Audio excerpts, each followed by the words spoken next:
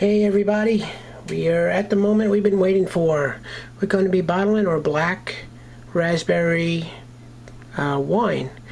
And um, me and my beautiful wife and consultant, the Slavic princess, has made the determination that we should back sweeten this. We had tasted some wine and we decided we are going to back sweeten it. Um, so what I'm doing now is I am heating up a little bit of organic sugar in water here. And we're making a little syrup.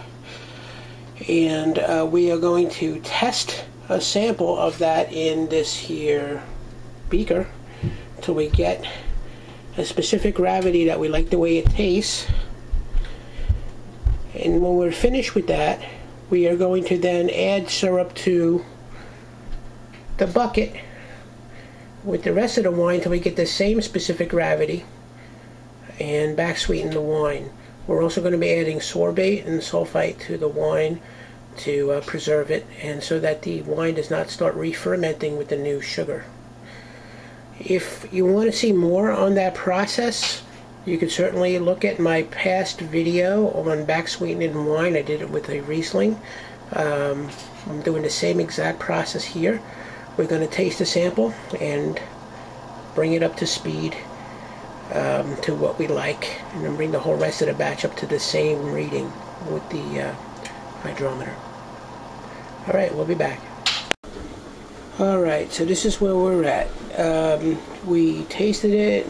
This particular wine um, is going to be a little bit sweeter than the Riesling that we did in the other video. So what we did is we made a sample here of what we liked and we made what's in the bucket match that. Again, if you want to see that in more detail, look at the Riesling video that we uh, did earlier. Um, Alright, so now we're going to get ready to uh, bottle. Alright, so I have four gallons of wine and I'm going to crush four Campden tablets. Campden tablets make it easy because it's one tablet per gallon and uh, that'll give you an easy way to measure. So I'm going to crush this between two spoons, add it to the wine, stir it up, and get ready to bottle.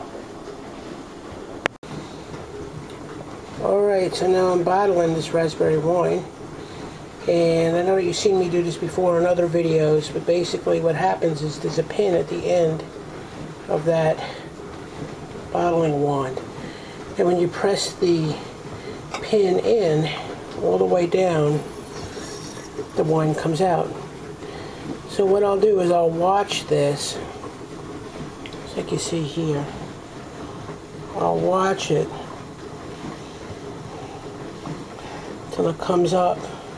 If you're not watching it, it will overflow and spill all over. Till it gets up to around there. And then I'll take this up like that. And you see the pin? I will push it against the side and fill it up till about the neck of the bottle to just about there. Let's see that again. In.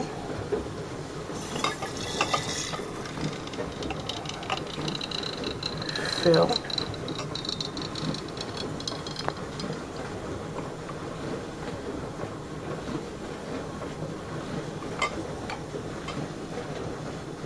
And I push the pin up against the side of the bottle until it gets up to about the neck.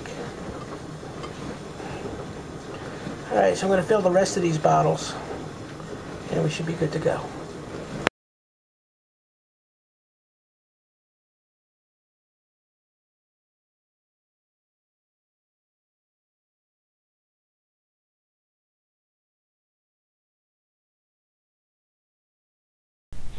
So thanks for watching. Please subscribe to my video channel here on YouTube and check out my blog at www.cooking-italian-recipes.com for great Italian recipes, tips on organic gardening, winemaking, and uh, herbalism, and all other kind of fun stuff that I'm into. Thanks for watching. Please subscribe, tell your friends. Take care.